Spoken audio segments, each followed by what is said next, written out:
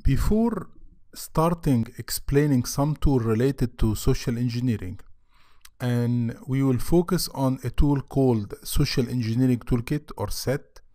It's a very, very powerful tool that will allow you to create fake website and uh, to capture username and password or create fake websites that will install some malicious code on the victim machine and give you full access. Very, very powerful tool. I just want to start with some tool that allow you to spoof email. And if you associate the tools that I'm going to show you right now with the tools that we'll be talking about later on in this section you will be able you will be able to do a lot of uh, integrated attack. Because mainly for social engineering their main tool are spoofed email and spoofed website. People trust email blindly and if you send an email and the mail showing that is coming from one of their manager or friends they will trust it right away for normal people.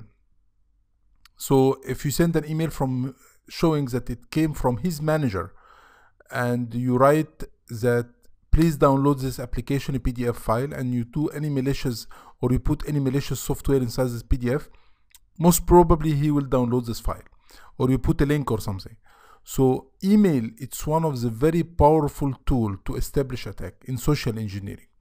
Now, I mentioned some tool on my previous video, except most of them was not that effective and uh, the mail usually came to the spam folder.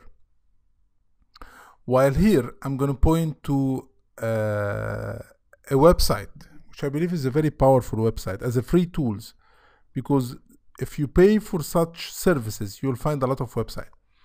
So this is the website name. Uh, and it allows you to spoof email. Let's see how to do that. So if we type an email showing it's coming from Bill Gates and we put the email of Bill Gates, for instance, B Gates at my, this is not Bill Gates email, but I'm just showing you proof of concept or you can change whatever you want and then I'm going to send this email to myself.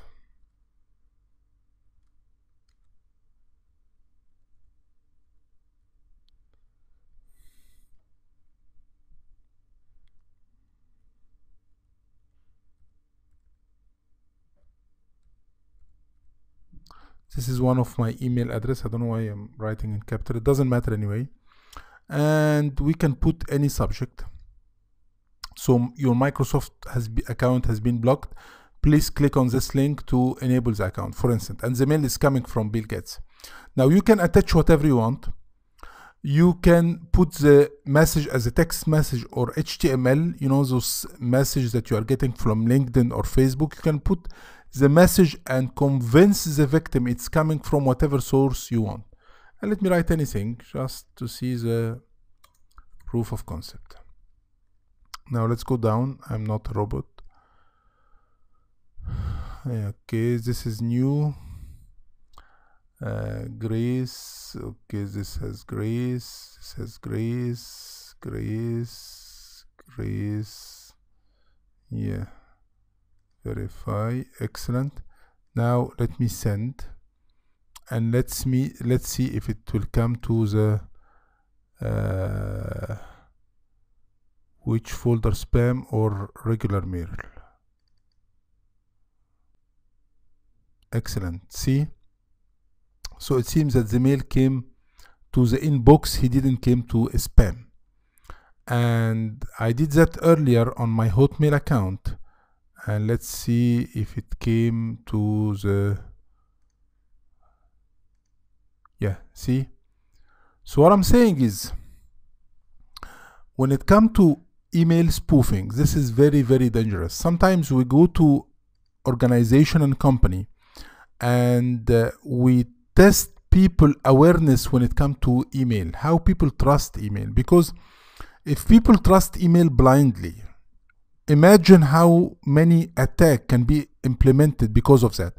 You can send whatever you want. And actually things will be more more clear starting from next session when you start to create some fake website or create a link that will give you access to the victim machine. Now you need to convince the victim to click on this link.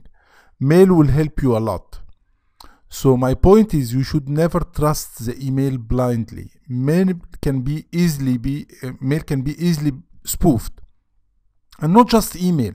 Even now they are spoofing uh, mobile numbers. So you may get a call coming from your bank, but actually it's not really your bank. Or they spoof SMS. So spoofing become very, very popular right now. So what I'm trying to say, do not trust email blindly because the email, even it's if it's coming from specific name with the address, this could be a fake email. You should not trust emails that blindly.